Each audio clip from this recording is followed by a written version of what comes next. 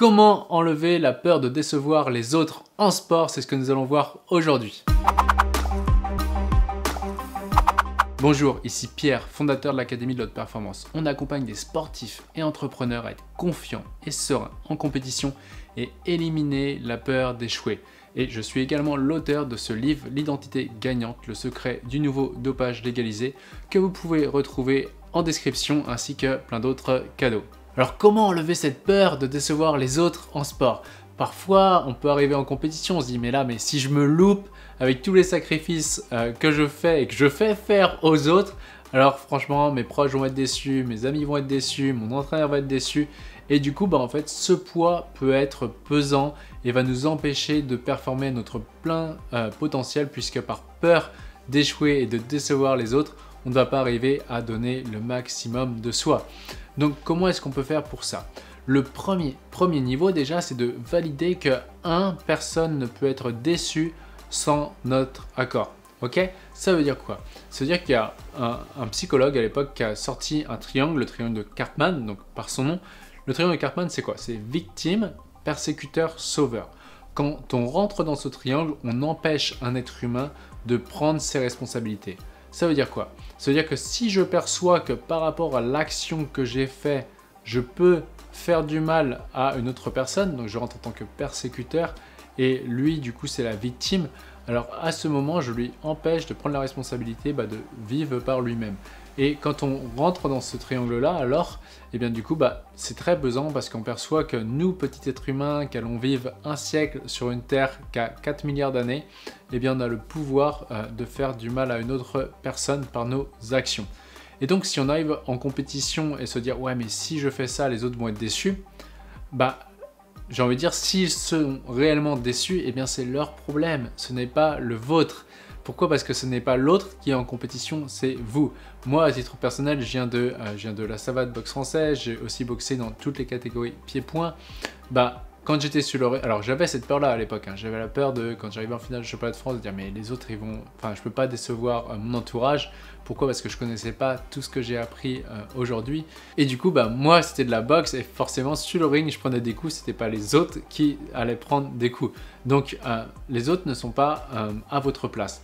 Et c'est important de comprendre ça parce que les gens qui vont être déçus de vous, ça on peut voir ça dans la masse de supporters, c'est-à-dire la masse de supporters c'est quoi? C'est on a gagné, ils ont perdu. Ok, on, a gagné quand ils s'identifient au, euh, héros, euh, quand ils identifient que le héros à l'extérieur va réveiller le héros à l'intérieur, ils vont rejeter, ils ont perdu, quand ils vont se dire que bah, ça va, entre guillemets, leur envoyer aux losers qui n'ont pas euh, appris à aimer, accepter chez eux.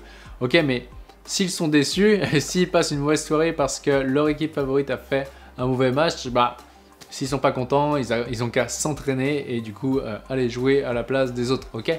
Donc c'est vraiment important. Les gens qui vont être réellement déçus de vous, bah, sont des spectateurs et non pas des acteurs à mon sens. Et du coup bah tant mieux s'ils sont déçus de vous. Ça vous permet de vous éloigner euh, d'eux. Ok? Ça ça me fait venir sur un autre point d'ailleurs. Un autre point c'est que euh, là avec, un, un club d'e-sport sur lequel j'étais intervenu lorsque j'ai montré à un, gars justement une défaite qu'il avait perdue en finale de championnat du monde, lorsqu'on a regardé, je lui ai fait noter quels ont été les bénéfices bénéfices pour toi, il fait bah là j'ai déçu du monde et quels ont été les bénéfices pour toi que tu les as déçus, bah ces gens-là sont partis, j'ai rencontré d'autres euh, sportifs et du coup bah c'est top parce qu'aujourd'hui je m'épanouis encore mieux. Donc tant mieux qu'il y en a qui ont été déçus, ça a permis de, rompre avec ces gens-là.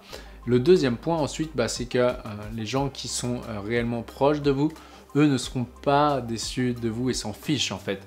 Ils sont contents pour vous si vous gagnez et derrière bah, si vous perdez, ils seront aussi là pour vous. Et là il y a une sportive, euh, une, sportive d'un niveau olympique en fait quand elle avait vu ça. Quand ensemble, du coup, je suis allé voir euh, bah, des fois dans le passé où euh, elle avait eu des défaites et du coup, bah, pour elle, c'était grave.